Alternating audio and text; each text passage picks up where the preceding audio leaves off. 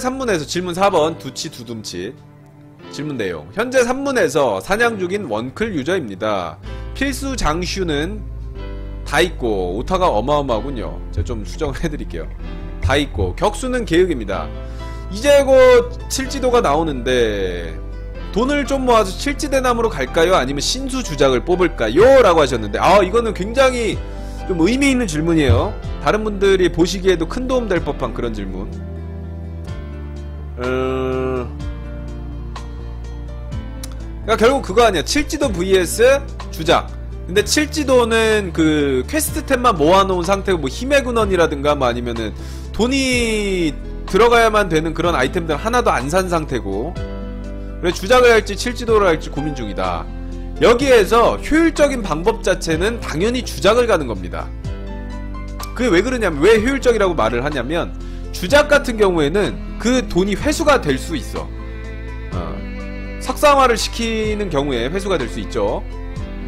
그리고 꼭 주작을 그 돈을 회수를 안 한다고 하더라도 주작을 만약에 만렙까지 찍었어. 그러면 그거를 그대로 사천왕 중에 지국천왕으로 다시 재활용해 줄 수가 있어요. 음, 주작 같은 경우는 뭐 요즘 들어서 damage 상향까지 됐다. 되겠, 됐겠다. 뭐 그리고 뭐 얼음개나 돌쇠 같은 것도 굉장히 뭐 쉽게 쉽게 잘 잡아내는 딜러니까 만렙까지 찍는데 어렵지 않을 거고요 이제는.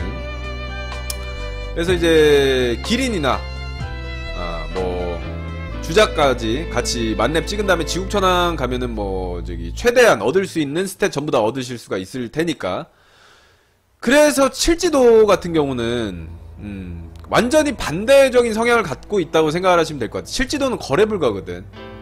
네, 거래 불가 무기라서 실지도 맞춘데 한 8억 정도 들어가잖아. 그 8억이 정작 기린 맞출 타이밍이 되면 너무나 아쉬워집니다. 예, 지금 뭐 기린 맞추는데 70억인데 뭐 7, 8억 정도에 뭐 껌값 아니냐? 10분의 1밖에 안 되네. 그 정도 돈 난 금방 벌 수 있어. 근데 막상 기린 맞출 때 되면 사람 마음이라는 게 그렇지가 않아요. 음, 화장실 갈 때 마음 다르고 나올 때 마음 다르다고. 어, 그때 되면 상당히 많이 아쉬워질 겁니다. 그래서 그냥 효율적인 방식으로만 따지면 칠지도보다는 주작을 맞추라고 저는 추천을 드리고 싶네요. 알겠죠? 주작 같은 경우는 만렙 찍어놓고 굳이 지국천왕 안 가고 그냥 순수하게 복명음 용도로만 써도 쓸 데가 있어 주작은 근데 칠지도는 본캐릭 만렙 찍고 나면은 솔직히 말씀드려서 전투력 올려주는 거 빼고는 쓸 데가 없어요